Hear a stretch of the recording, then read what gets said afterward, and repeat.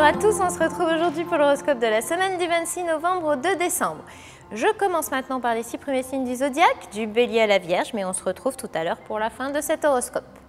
Bélier, côté cœur, mardi et mercredi, cette lune en lion vous soufflera d'occuper fièrement le devant de la scène amoureuse et même de faire un peu de bling bling pour obtenir ce que vous voulez.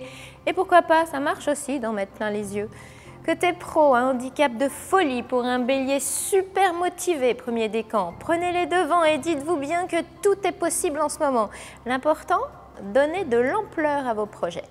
Taureau, côté cœur de mardi à jeudi, vous ramènerez tout à votre petite personne. Si votre chair est tendre vous confondez avec les murs de la maison ou regardez ailleurs, ça vous ferait une grosse blessure à l'ego.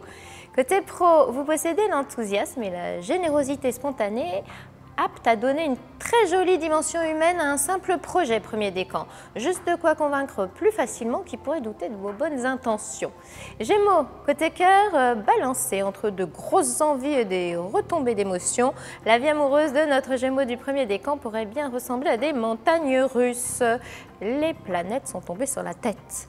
Côté pro, évitez les excitations vaines car vous pourriez bâtir quelques châteaux en Espagne ou alimenter à mauvais escient de trop jolis fantasmes. Ne pas prendre de risques inconsidérés serait faire preuve de bon sens en ce moment. Premier décan.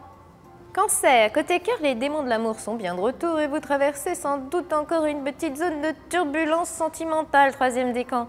Côté pro, il faudrait trouver un projet dans lequel vous pourriez polariser ce généreux enthousiasme du moment, premier décan. Investissez-vous dans une bonne cause ou soyez simplement ultra créatif. Lion, côté cœur, nouveaux amis, aide providentielle, activité passionnante en bonne compagnie. La chance passe ces temps-ci surtout par l'amitié pour le premier décan. Pour le troisième décan, c'est toujours love love. Côté pro, osez, redoubler d'audace, n'ayez pas froid aux yeux et n'ayez pas peur d'en mettre plein les yeux. Vous pouvez y aller, premier décan. Dans tous les cas, investissez-vous sans réserve. Vierge, Côté cœur, patientez un peu si vous avez envie d'autre chose, premier décan. Votre imagination un peu débridée pourrait s'élever vers quelques sommets, mais pas forcément réussir à concrétiser ce qu'elle désire. Côté pro, vous pourriez remuer ciel et terre, mais sans prendre suffisamment la mesure de votre potentiel et des enjeux, premier décan. Une nette tendance à projeter vie et envie sur écran géant. On se retrouve plus tard pour les six derniers signes du zodiaque, alors à tout à l'heure.